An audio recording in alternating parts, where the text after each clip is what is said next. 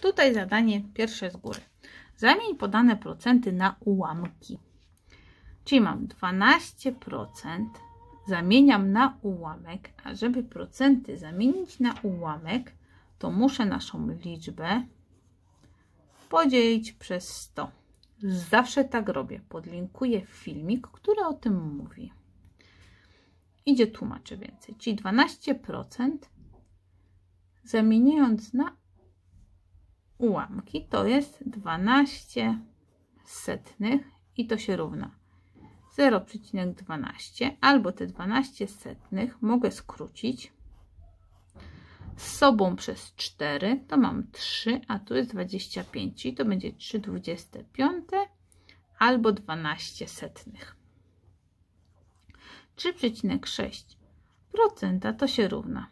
3,6 podzielić na 100. Jak dzielę na 100 ułamek zwykły, to... Oj, czekajcie, wezmę jakiś kolor. Yy, ułamek zwykły, wam głupotę gadam. Ułamek dziesiętny. To ten przecinek tutaj, widzicie go na różowo. Przesuwamy. Czyli przesunęłam tu raz, drugi i tyle. Tak? Yy i teraz pytanie zawsze, które się często pojawia, o ile przecinków muszę przesuwać? O tyle, ile jest zer. Czyli w tym przypadku 3,6% zamienionego na ułamek na ułamek dziesiątny to jest 0,036 na ułamek zwykły 3,6% to się równa. Czyli 3,6% to jest 3,36, e, tak? Jak zamienię 3,6 zamieniam na nasz mm, ułamek zwykły. Dlaczego tak jest? Bo tu mam co? 3,6.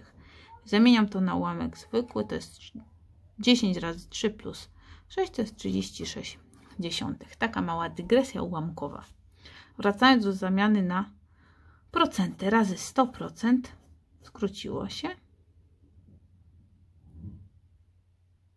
I dzielimy przez 100. Przepraszam Was. Dzielimy przez 100, czyli mam 36 dziesiątych razy 1 setna, bo dzielimy, czyli mnożymy przez odwrotność. Tak jest w pierwiastkach. To się równa. E, w ułamkach zwykłych. 36 i 10 razy 100 to jest 1000. Wybaczcie za te moje przejęzyczenia, ale myślami jestem dalej dużo i po prostu moje myśli nie nadążają mi za moim aparatem mowy, więc czasem przepraszam, że takie rzeczy się dzieją. Mam nadzieję, że będziecie łaskawi, że się przejęzyczyłam przed chwilką.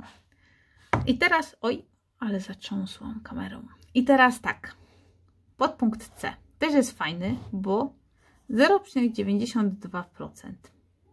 To się równa. No i co tu robimy? 0,92% dzielimy na 100. I teraz tak. 0,92 podzielić na 100 to się równa. Przesuwamy o dwa miejsca, tak? I otrzymuję tyle. Lub znów możemy się bawić na ułamek zwykły. Teraz mamy tak, 224% to się równa. 224 pro, e, procent, tak podzielić na 100 to się równa.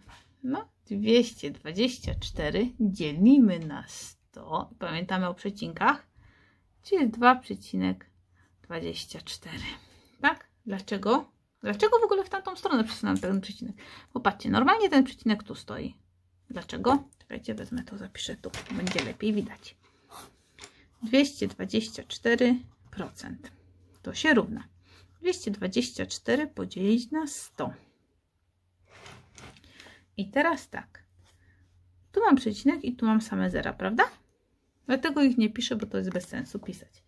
Więc jak dzielę przez 100, to ten przecinek, który sobie tak stoi za tą czwóreczką, przesuwam o dwa miejsca, czyli raz, dwa i już i dlatego mi wyszło 2,24. Macie jakieś pytania? Jak tak, to piszcie. Od tego mnie macie. Buziaki!